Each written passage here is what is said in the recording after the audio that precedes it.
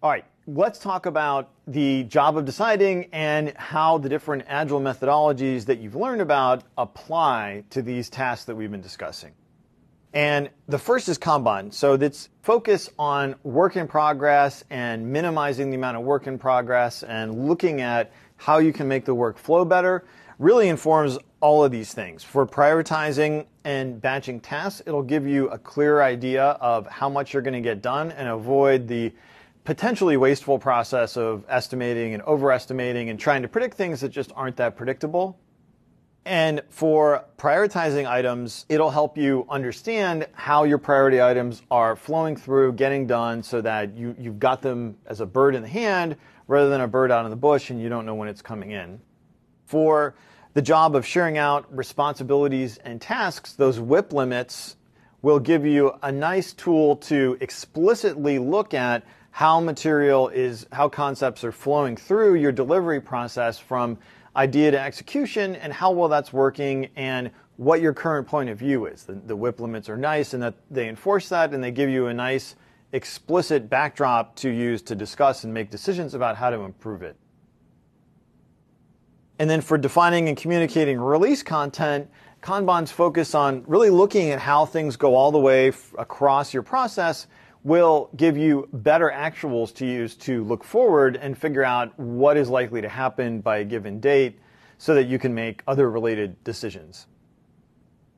Scrum and XP both have a specific set of processes and kind of plumbing to help you make and manage decisions. And they're these two techniques that effectively implement the, the iterative deciding, executing, and observing loops that are really integral to what Agile actually is.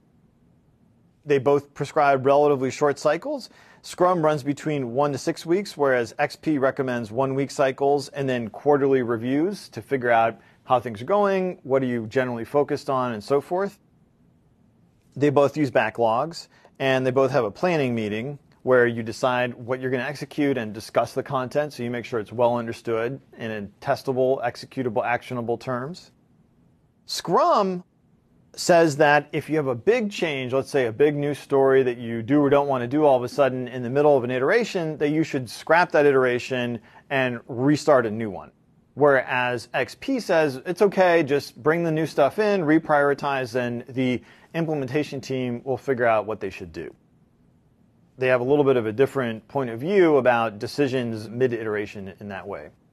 And then they both use this daily stand up, which is very much a common, almost ubiquitous feature of, of people doing Agile.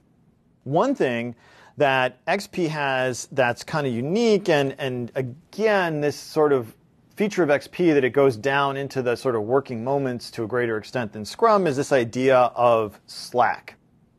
Now, Slack is this whole rubric of making sure that you provide enough time to do more than just the obvious things that you've absolutely got to do to make a narrative actually work.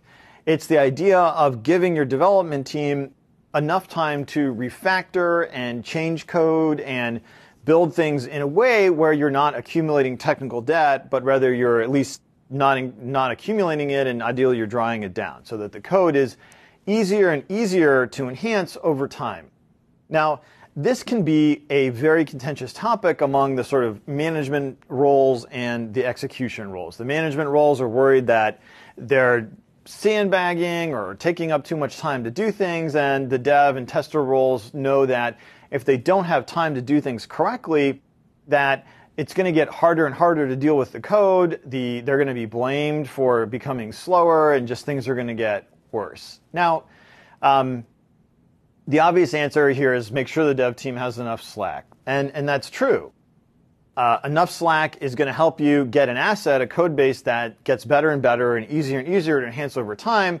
And not enough slack, too much tension is going, I don't have the strength to actually break this rope, but too much emphasis on putting in too many features will break it. It'll um, break the integrity and the longevity of your code base. So while most developers are probably trying to do the best job they possibly can, a lot of managers will always wonder if everybody's working fast enough. So my general advice is build the trust over time that the team is factoring in the right amount of slack and talk about the hypothesis that are you know are, is this working for us? Are features at least as easy to implement as they were, or are they ideally getting better? I mean, how is our Slack going? And ultimately, it's the team that collaborates together on what's going to work out best that is going to be the most successful. And that's one of the most important things as we go over this job of deciding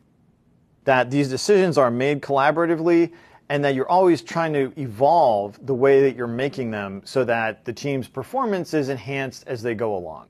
So we've talked about the job of deciding, how to become decisive yet flexible, and how to make sure that the decisions are made in a way that enhances the quality and the output of the whole team. So good luck with the job of deciding, and I think that you'll make good decisions. Don't try to make them perfect, but think about them in the larger context and try to always make them better, and you'll be fine.